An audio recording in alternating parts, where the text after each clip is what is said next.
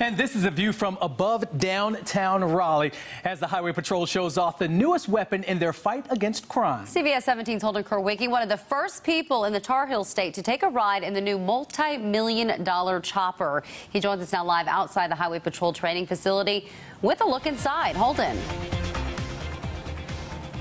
Well, Angela Marius, I have to say those choppers are a smooth ride. They're also bigger and faster than the old Bell helicopters that they're replacing, but they're necessary after a training exercise accident just one year ago. We're used to seeing them keep us safe on the streets. Each and every day, we ask state troopers all throughout our state to go out and do a very dangerous job. Now the North Carolina State Highway Patrol is adding more eyes to the sky.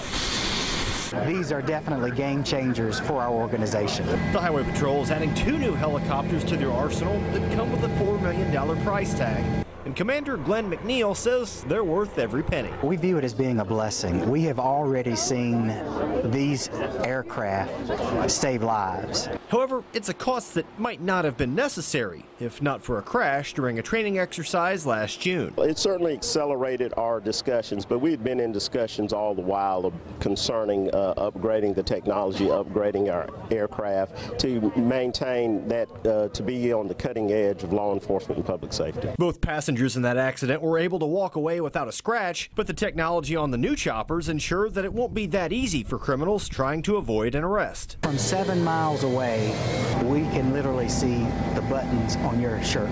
It was that technology that allowed a quick arrest when Trooper Daniel Harrell was shot near Elm City in January. With the awesome technology that we have aboard these two aircraft, they were able to identify and locate a very dangerous person. So, in my eyes, locating that one very dangerous person that had harmed one of our state troopers, they've already paid for themselves.